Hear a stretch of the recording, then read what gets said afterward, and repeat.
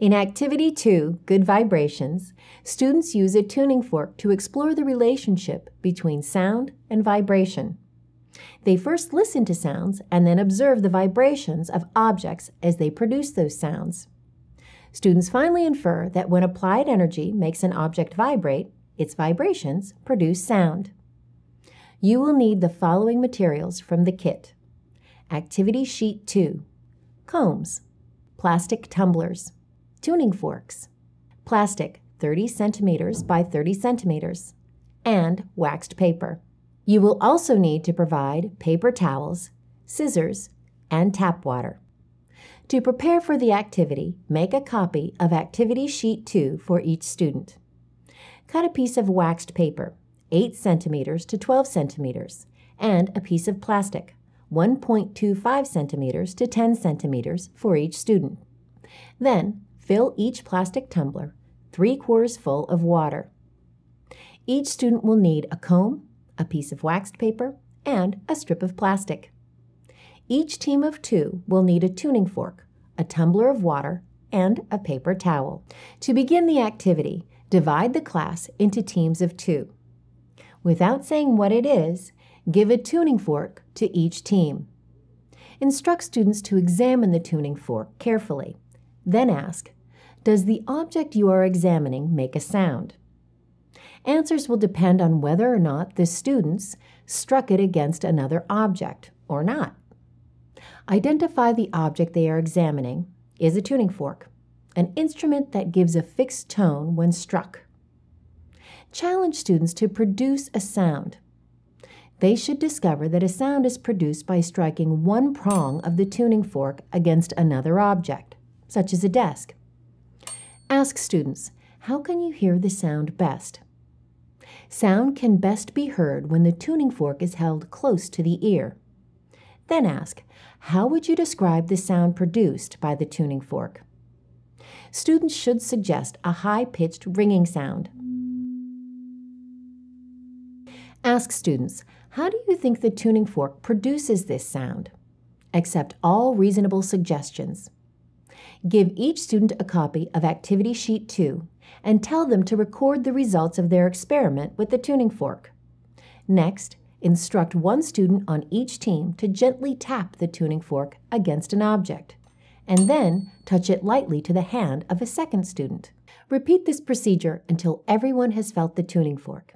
Again, have them record their observations. Ask students, what did you feel when the tuning fork touched your hand? The students may describe feeling a soft tickling sensation. Then ask, how can you explain what caused this feeling? they may suggest that the tuning fork was moving. Distribute the tumblers and a paper towel to each team. Instruct students to gently tap the tuning fork against a desk and then quickly touch the surface of the water with the tip of the tuning fork. It is important that the tuning fork touches only the surface of the water and not be inserted down into the water. Have them record their observations. Ask students what happened when the tuning fork touched the water? Students should respond that the water rippled in all directions. Then ask, why do you think the water rippled? Students should suggest that the tuning fork was moving and that it made the surface of the water move. Define vibrate as to move rapidly back and forth. The vibration, or back and forth movement, is often so fast that their eyes cannot follow the movements. Ask students, do you think the tuning fork could have been vibrating? Most students will agree that the tickling sensation on their hands and the ripples on the water's surface could have been caused by the vibration of the tuning fork. Inform the students that their vocal cords are located in their throats and produce the sounds that their mouths shape into speech.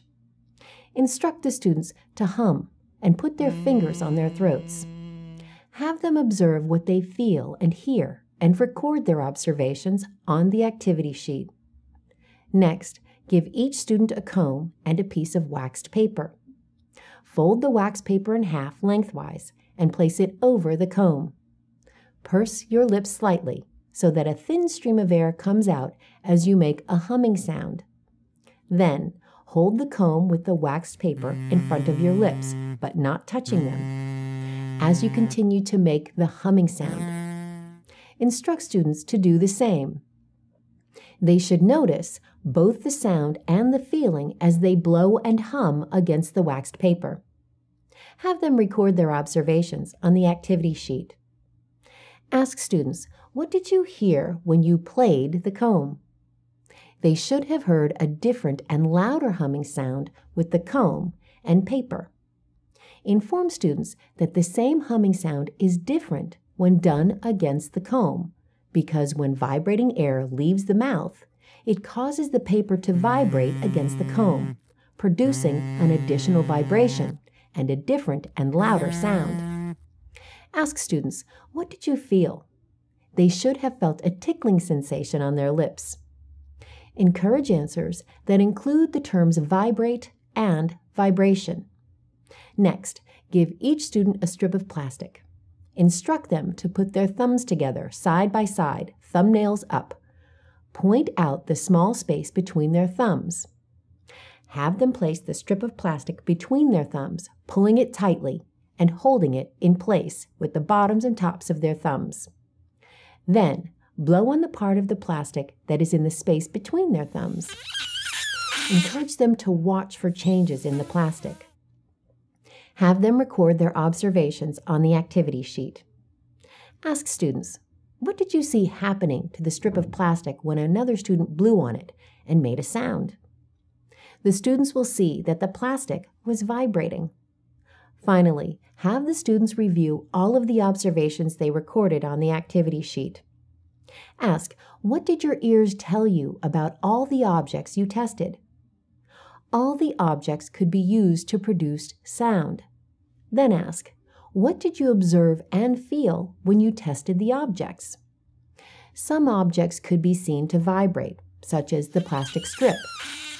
Vocal cord vibrations could be felt but not seen.